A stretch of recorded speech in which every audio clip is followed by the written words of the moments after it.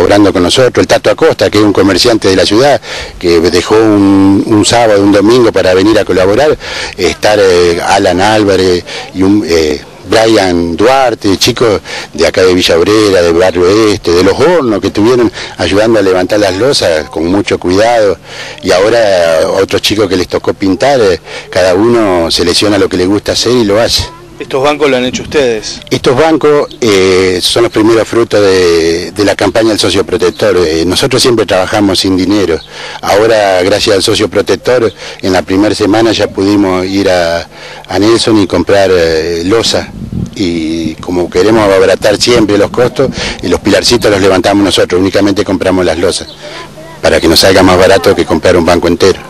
¿Y sigue la campaña del socio protector? La campaña del socio protector sigue, eh, toda Villa Obrera, casi un 90% ya es socia, Villa Talleres pedimos disculpas porque nos llaman por teléfono y no podemos llegar porque nadie nos dice que no. Eh, hasta ahora nadie nos dice que no, se hacen socios de dos pesos, tres pesos, hay, socios de 100 también hay que decirlo también.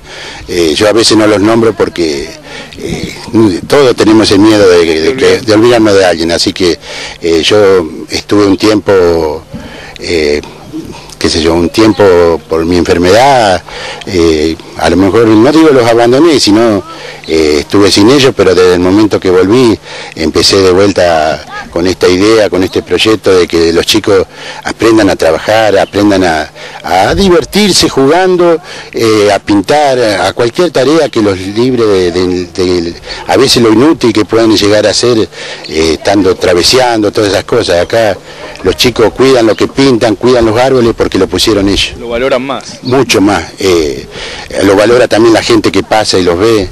Eh, lo valora todo el mundo, incluso te voy a hacer un comentario, eh, yo cuando estuve internado tuve más de mil mensajes, fue difícil contestarlo porque estar casi un peso cada mensaje, no podía gastar mil pesos, entonces eh, yo tengo que agradecer al dueño del cable video, al dueño de las dos radios, porque toda la gente trabaja conmigo, y me colabora, el complejo Santa Rita no vende nada, el complejo Santa Rita es ayudado siempre por todo.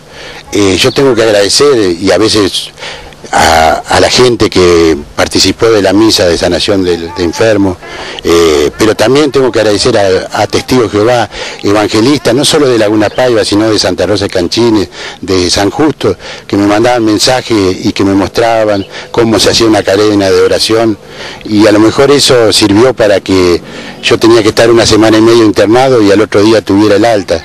Eh, no tomé una, ni siquiera un genión, nada. Eh, me repuse tan rápido que me asombró. Tengo que cuidarme del sol, tengo que cuidarme de la fuerza, todo, pero todo lo que me pasa a mí los chicos lo saben y a lo mejor por eso ahora colaboran más conmigo y me hacen un poquito menos renegar.